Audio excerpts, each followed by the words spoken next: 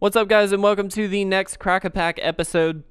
Today we are opening up, excuse me, a pack of Hour of Devastation, obviously a relatively new set, one that I'm not super excited about in general. I actually really enjoyed the the previews for this set, but as I played it more and more, I just kind of got tired of it pretty quickly. Uh, that being said, drafting was actually pretty fun, and of course we are going to look at this from a draft perspective, so we'll figure out what our pack one pick one card would be uh, if we were actually in a draft setting. Of course, uh, sitting at the top of the value train, of course we have things uh, like the invocations. Uh, Blood Moon, I believe, is sitting at the top right around 200. Uh, Thoughtseize just under that at 160. Of course, the gods are fantastic. Locust God has been a perfect, uh, a personal favorite of mine, uh, but of course, Scarab God is, I believe, the most uh, expensive and definitely the most played. Uh, so we'll see what we get. We will, of course, go through every single card in this pack. Uh, so hopefully we get some interesting stuff and we can learn something along the way. But our first comment here, disposal, disposal mummy, excuse me, a 2-3 for 2 and a white. When enters the battlefield, exile target card from an opponent's graveyard. Uh, this was okay in the zombie deck just because it was a zombie.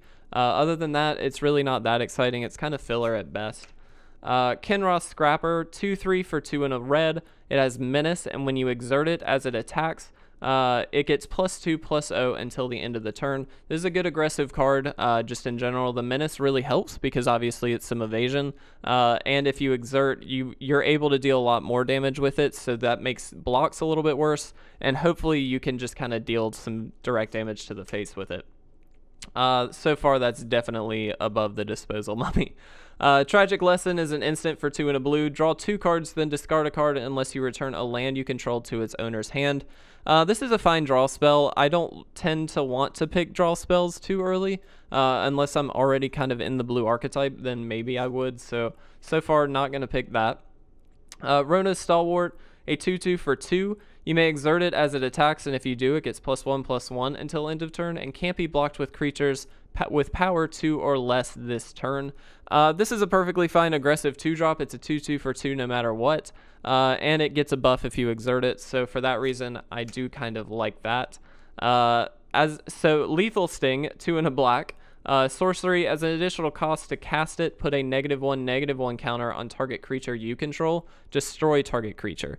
Uh, so far, this beats out everything else. It's a kill spell. Yes, you get a negative one, negative one counter on a creature of yours, but there's actually a deck built around that. The green black deck actually thrives off of the negative one counters. So for that reason, I really like that.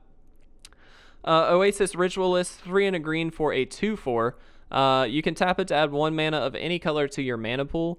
You can also tap it and exert it add two mana of any one color to your mana pool. So I like this actually. It's good uh, fixing for the big ramp deck, which there is one in this format. I don't like it more than Lethal Sting though, so for that reason I'll put it to the side. uh, God-Pharaoh's Faithful is a 0-4 for 1 white. Whenever you cast a blue, black, or red spell, you gain 1 life. This card has always seemed really weird to me, even since uh, the very beginning it forces you to feel like you kind of have to be in a four color deck. Obviously, you don't. You can just be in like a two to three color deck if you wanted to. Uh, but even then, you're just gaining a couple life off of this, and it just doesn't seem all that useful. Late game, it's a terrible card to draw, so for that reason, I do not like it. Uh, Striped Riverwinder is 6 and a blue for a 5-5 with Hexproof. You can also cycle it for 1 blue. This card is fantastic. Uh, it's actually hit Pauper Reanimator, uh, and I believe it hit. Uh, oh goodness, the the living end. Yes, living end in modern. Uh, it actually sort of changed the deck to be much more blue focused. Uh, so I really like this card. I'm not sure above Lethal Sting, but we will see. Uh, Gilded Cerodon is a 4-4 for 4 and a red. When it attacks, if you control a desert or there is a desert card in your graveyard, target creature can't block this turn. This is decent top end for uh, just red aggro deck, uh, especially if you do pick up a couple deserts, which is very likely in this set. Uh, so I like this card. I don't think I like it more than either of the other two that we've pulled out so far, though. Uh, our first uncommon, Imaginary Threats, is 2 and 2 blue for an instant.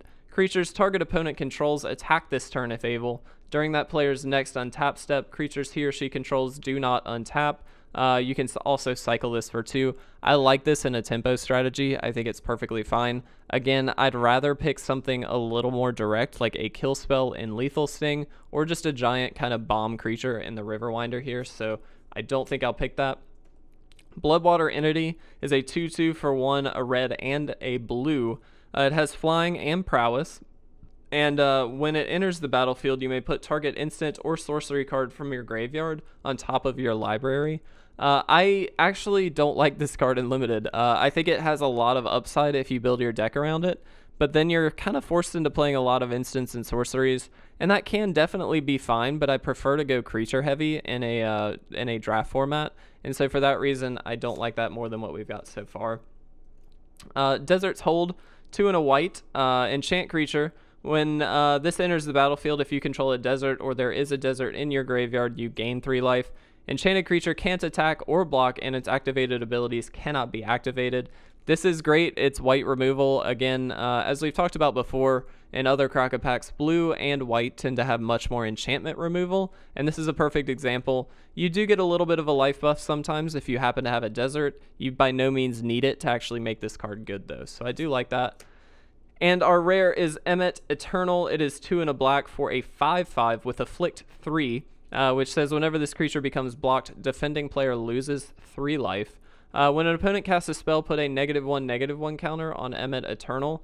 Uh, and whenever it deals damage to a player, remove all negative 1, negative 1 counters from it. I love this card. I think it's great. It's very aggressive at 3. Uh, they're probably only going to be able to, to play one spell at a time, and then they're going to have to just chump block it a lot to actually get it to just kill itself. Uh, and so for that reason, I like that a lot. Uh, we do have a foil here. Solitary Camel is a 3-2 for 3. Uh, it has lifelink as long as you control a desert or there is a desert card in your graveyard. This honestly is great filler in a white deck. Uh, it's not amazing, but it's fine, and it definitely does not beat the Eternals. So uh, that is definitely going to be my pick. I do think we had a couple decent options here with Lethal Sting, Desert's Hold, and Striped Riverwinder, though. Uh, so let me know what you guys think about this pack. If you enjoyed this episode of the Crack Pack series, please make sure to leave a like or a comment down below. And as always, make sure to subscribe to stay up to date on all of our awesome content. We've got tons of it coming at you every single week, at least five episodes, or excuse me, five videos uh, every single week. So hopefully there's a lot of stuff for you guys to enjoy. But with that, I am going to get out of here, guys. Thank you so much for watching this episode. I will see you in the next one.